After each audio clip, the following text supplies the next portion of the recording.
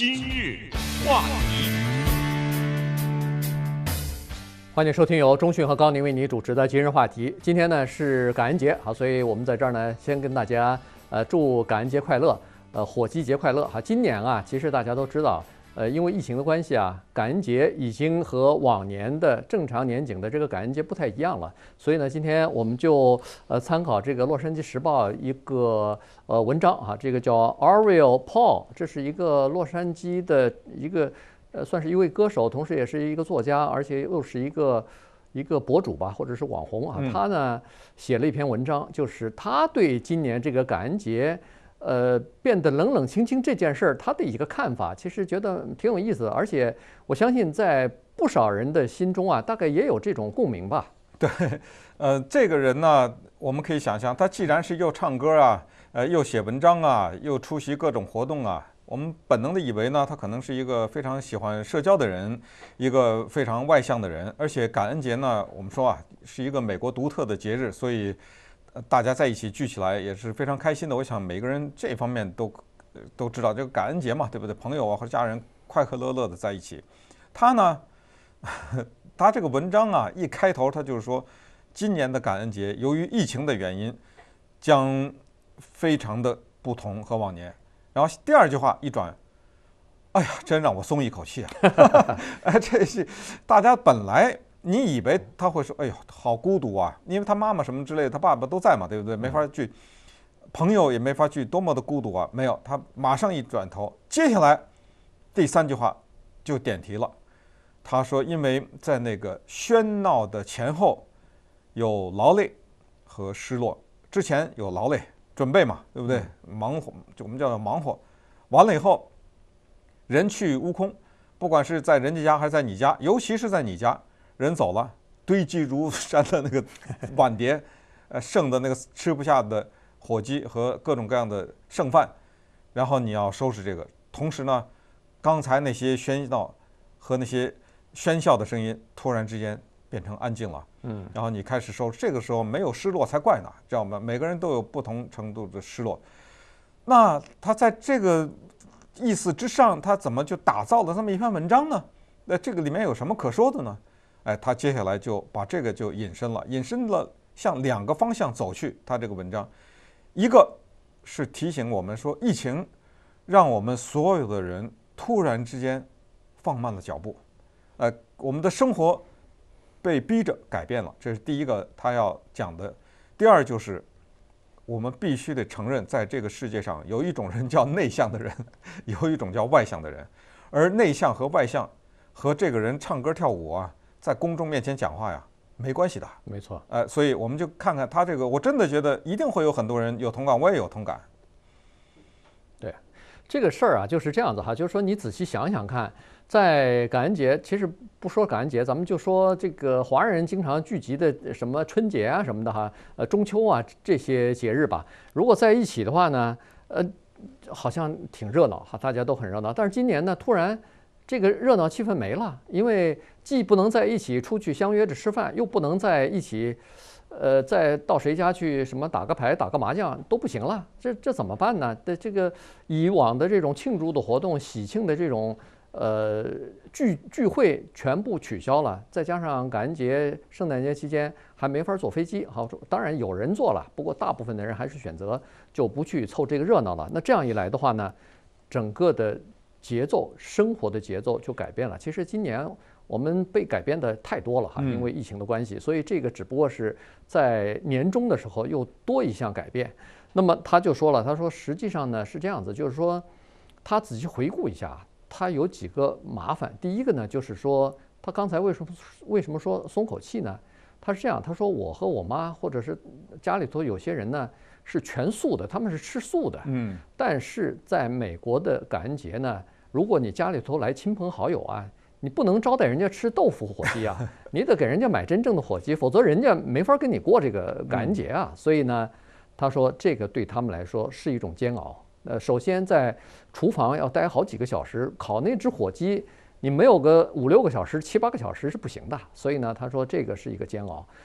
他们还不吃，还专门供这个客人。亲朋好友来吃，这是第一个煎熬。第二就是在烤火鸡的过程当中，人家来的客人和朋友出于礼貌，他本人作为主人也是出于礼貌，双方要进行那种他说是毫无意义、是应付性的、礼仪性的，叫做应酬。这个东西他说非常的累哈，所以见什么人要说说话，然后要跟人家对答什么，但是呢，没有什么太多的内容，这个是另外一个煎熬。所以呢，他心里头稍微有一点点内疚啊。他说：“哎呀，其实，在这种情况之下，我不该说是松一口气。你看，呃，这个美国最大的一个节日之一，现在因为疫情的关系都取消了，大家见亲人什么的聚会的机会都取消了。”心里应该有点难过才对呀，有点有点沮丧才对。怎么我我觉得还挺高兴的呢？嗯，哎，他最后呢，他就说：“我坦白的跟你说吧，因为每次过感恩节，我都觉得就一个字，叫做累。”嗯，这种累当然有的时候会被一些快乐所抵消啊。可是呢，由于疫情的原因，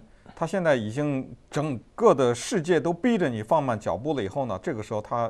突然就亮出了他作家的那一面啊！他就说：“其实，仔细想想，我们每一个人都是在戴着面具活着，这个是一句大实话呀。嗯，对，这个面具呢，戴久了以后，你这个脸啊，就长到那面具里面去了。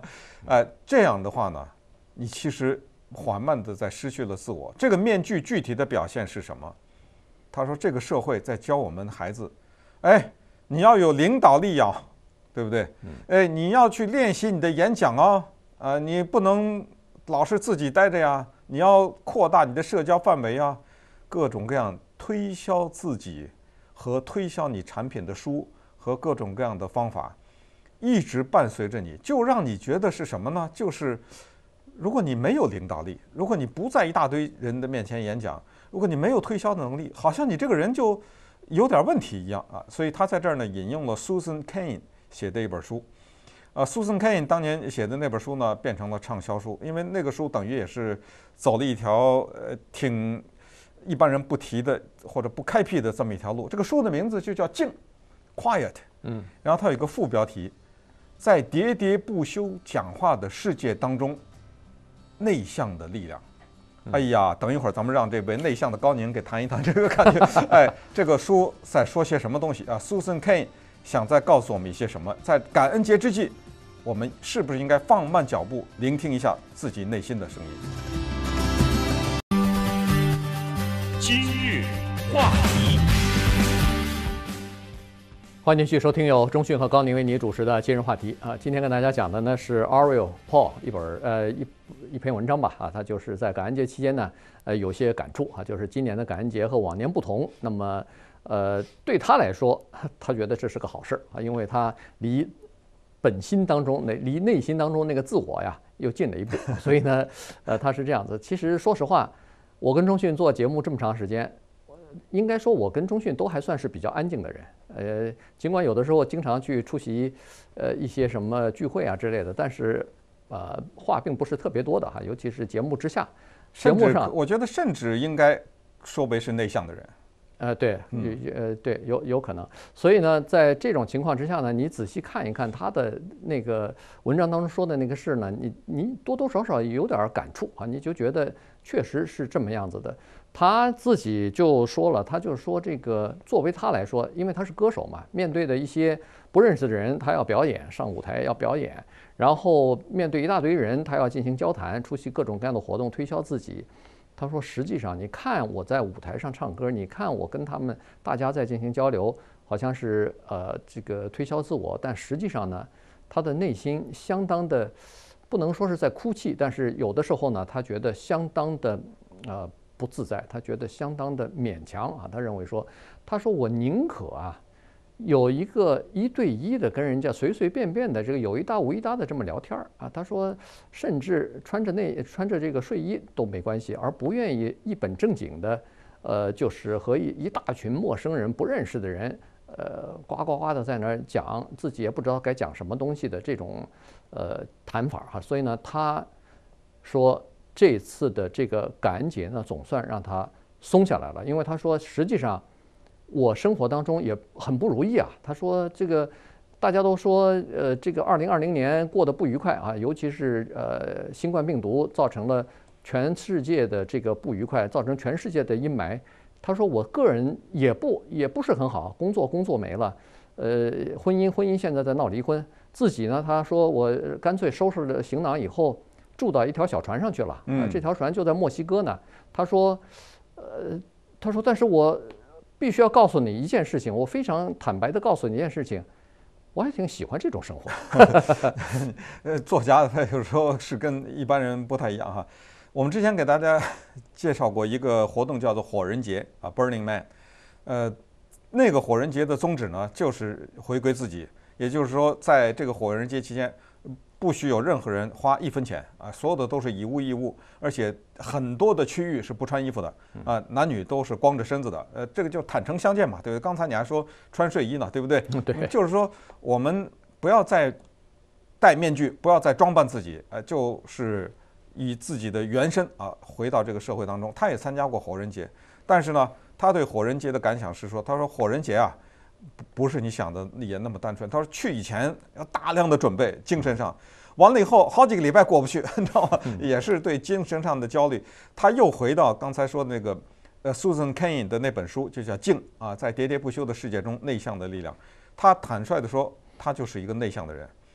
那么在这种情况之下呢，他说一个内向的人呢，他被这个社会给影响到这样的一个程度，他变成一个，他有个叫永不可康复的焦虑，就已经过了那一关，就我永远回不来了啊！他这一种焦虑，好像就是说你你是一个内向的人，你就不行。再比如说，再说旅游，很多的人喜欢旅游，这没问题，但是呢。有两种旅游方式，一种是哎呀，一大堆人，哎来了，埃菲尔铁塔来照相了，哎对不对？嗯，赶紧赶紧吃，呃这个什么，今天吃什么呀？他说这种旅游他最讨厌，嗯，他喜欢是到一个那种不是旅游景点的地方，呃一个异国的地方，而且他最好希望他去的这个地方那些人听不懂他说什么，他也听不懂那些人说什么，因为。就没法交流了嘛，我就不想跟你交流，对不对？我我就是来体验，我不来找人来讲话来。所以他，你你说他是怪人也好，你说的他说的这些东西能影响一些人，呃，找到一些共鸣也好，哎，这就是他在感恩节这个期间的呢一种心声啊。他就是说，他当然写这个文章也不是说把自己就亮出来给大家看，他其实还有一个含义，就是也是希望大家利用这个感恩节这个安静的时候呢。赶紧的，对不对？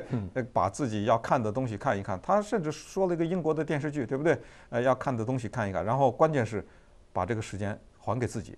对，就是他主要讲的就是自己，呃，叫做自我对话吧，呃，跟自己来进行一个有意义的对话啊。然后同时呢，他说这个这个时间呢叫做自我充电啊，在一个人安静的时候呢，自己想一想自己未来的规划什么的，然后自己给自己充充电之类的。他说其实这样的话挺好，但是呢，他也理解。他说其实我和大部分的人不太一样，人大部分的人想的是那个什么时候可以恢复到这个。呃，就是喧喧闹闹、热热闹闹的这种聚会当中啊，什么时候我可以坐飞机旅行到其他国家去这个旅游啊，等等哈。但是他说这个没问题，就是每个人他有每个人不同的活法。他说我呢，就是从今年的不同的感恩节当中呢，略有点感悟而已。